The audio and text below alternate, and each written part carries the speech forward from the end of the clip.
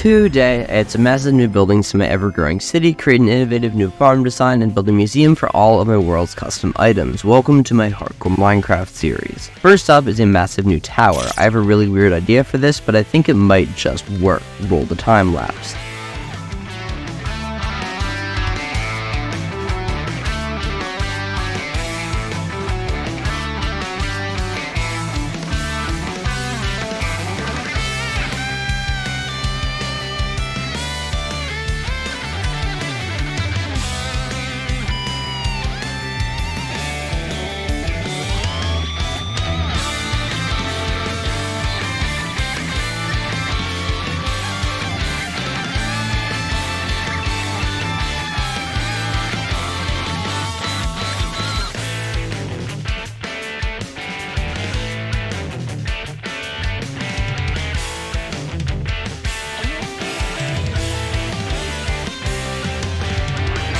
I don't like having builds that exist just to take up space. I want my builds to feel alive and functional, so in this new building, I'm going to be making a cocoa bean farm. I want to try to make a cocoa bean farm here, but I also want to try designing my own. And I do have a concept in my head. Cocoa farms are pretty simple, and I have a lot of bone meal, so I was thinking we'd make a bone meal based design. I was thinking maybe the player would stand here, and just place cocoa beans, and then when the system detects it, it gets picked up by an observer. And meanwhile, we'd also have two output devices over here and here. And this side would have more of a delay because there'd be an observer here that leads into a dispenser. And then right here, we'd have redstone dust. What about this? Oh, that actually works. Seeing then, we have pistons here and here. And the repeater would wait until that happens. I think it'll actually set it to two ticks. And then It'll attempt to power both pistons at the same time, and the only one that will power is the one that's not already powered. What about a something like this? We have another observer here that detects the dust changing. Okay. This is progress. This is progress. Oh wait, I could. I don't even need to in this. They could just literally have these fire at the same time. It doesn't even need to in this circuit specifically. Yeah, look at that. It just instantly goes full. That works. We really needed the T flip-flop, but I don't know how to make those unless we have a copper lamp. I believe that if we change this block right here to a target, it will fire the signal downwards. Yo! Yo, it works, it works. It does something, it does something. Okay. Ooh, the idea of a quick on and off pulse actually could work really well. So if we put cocoa beans in, yeah, this is a looping machine now.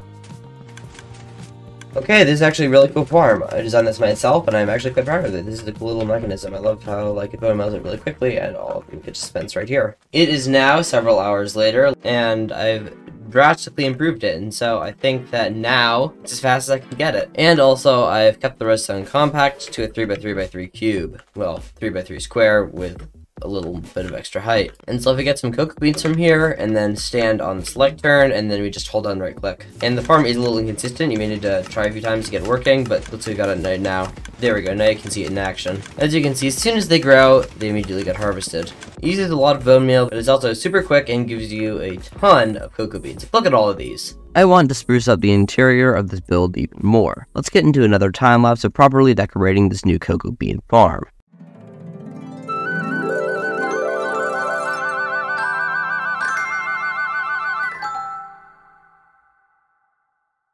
And it is now day 5900, and the build, well, I mean, these two buildings is complete, or maybe are complete, because there's two of them.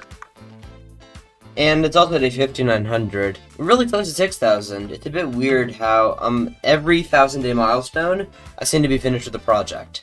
It's a bit weird how the last 200 day milestones have both been right when I finished the projects. That's cool.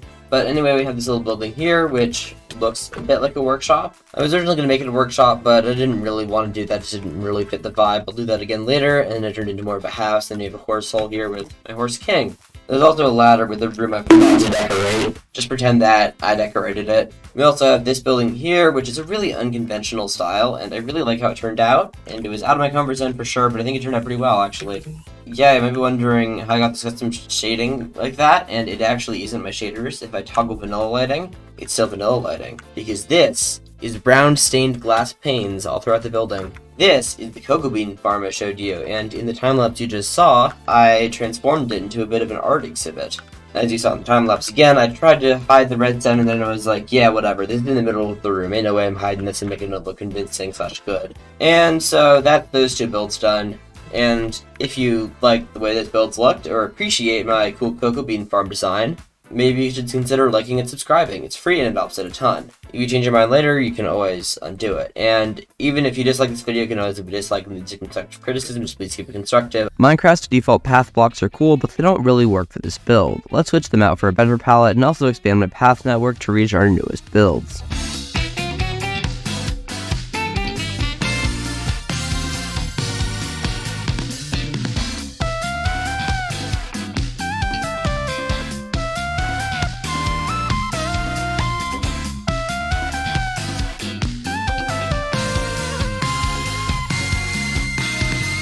As you may already know, I use a resource pack to import custom models into my world through renaming sheets of paper. This process is called CIT.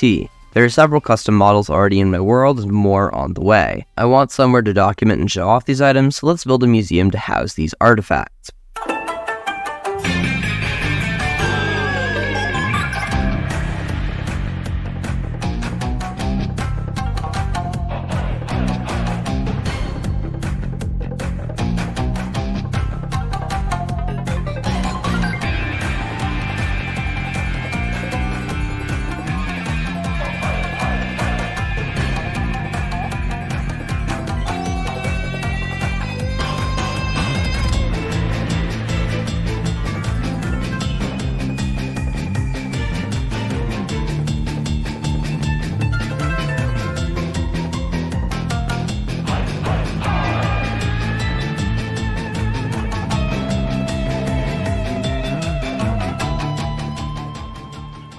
I found something a bit strange. I saw something on the ground and I thought it was a trap, but I didn't look at my sword because I my bed, however, no, swords are in my inventory and this thing is moving around. And then I started hearing the sounds. I turn on subtitles, you can hear it. Villager murmurs. This is a raid party. this flag is clipping through the ground. Damn, okay.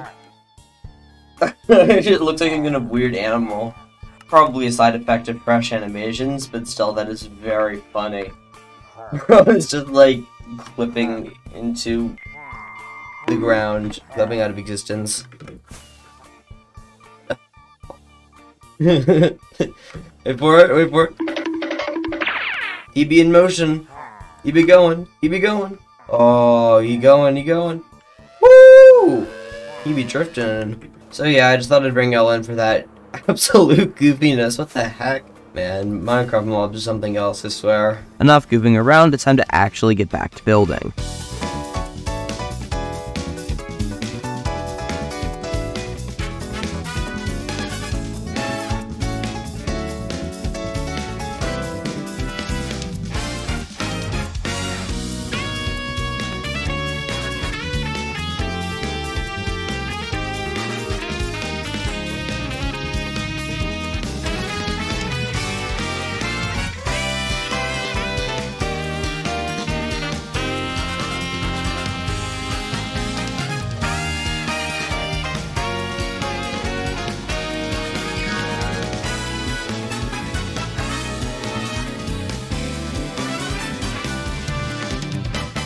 And the build is done. Well, kind of. Let me explain. So, as you see here, the build's exterior is complete, and I think it turned out really well, actually. I'm quite proud of how this looks. But if you go up to, for example, one of these windows, you'll notice that the interior is, um, lacking, to say the least. Yeah, it's not looking great. But I have a good reason for that. You see, this museum isn't just going to last for what CIT have made so far, which is very little. This will have enough room to fit all of the CIT for the foreseeable future. And so I'm planning to decorate this room as I get to it. And if I had more time, I might have sectioned out the build a little more. But look what Minecraft Day it is.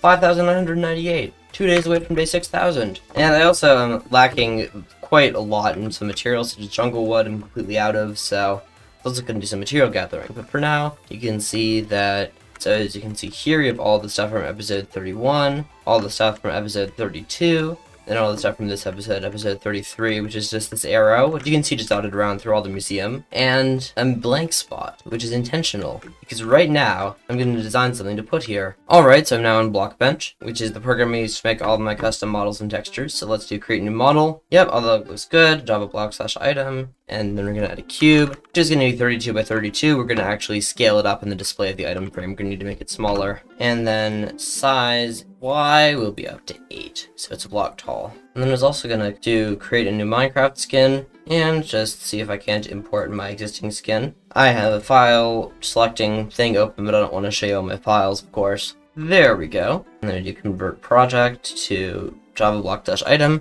select the entire group, and copy it over into this project. Great, looks perfect.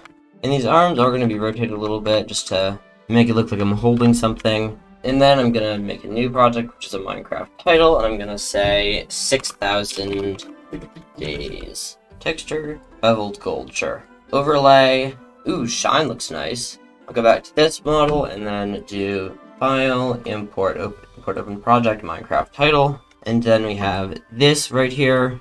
And then I also need to make this custom textured. Cube, create texture. Yep,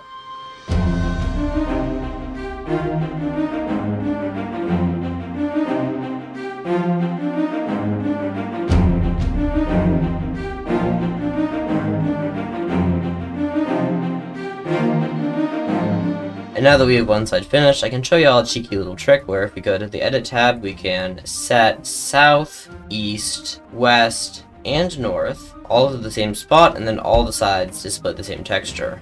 And now I'll go back to the top and make a bit of a tileable version of this brickish thing right here.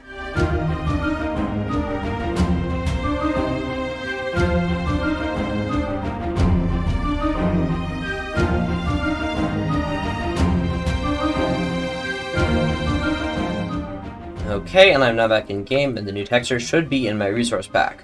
Now I need to just get some paper and rename it to 6k day statue. It works!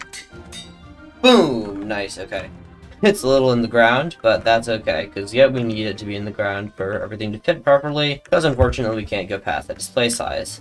And then for the last thing of today's episode, I'm just going to place this down in the museum. So yep, we've got this new statue here, this arrow, and a lot of other CIT stuff in the CIT museum, all the CIT items I've made in this world, and then we have our old 5000 days monument, but didn't build that today. And this is what the museum looks like from the outside. I really like how this turned out. And so yeah, what a fun episode. And don't forget to like and subscribe, and I will see you next time. Goodbye.